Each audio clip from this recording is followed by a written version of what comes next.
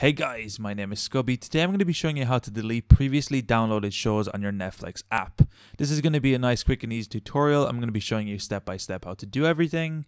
Let's jump right into this. So the first thing you want to do is open up your Netflix app. You can do this by searching for it or finding the icon on your home screen, whichever works for you. From here, what you're going to do is go to your downloads by clicking on the burger menu, and then you should see a list of shows you currently have episodes downloaded for. To do this, all you want to do is select the show you want to delete an episode from. In this case, I'm going to be using Jessica Jones as an example. Press and hold on any episode in this series, and you'll be able to select multiple of these also with the little checkboxes that come up on screen. Once you have the video or multiple videos selected that you want to delete, click the delete icon on the top right, and then your video will be deleted.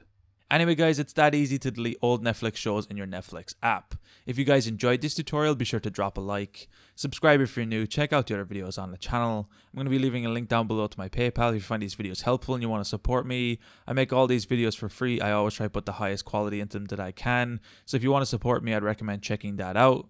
Anyway, guys, thank you so much for watching. Until next time, as always, keep it saucy.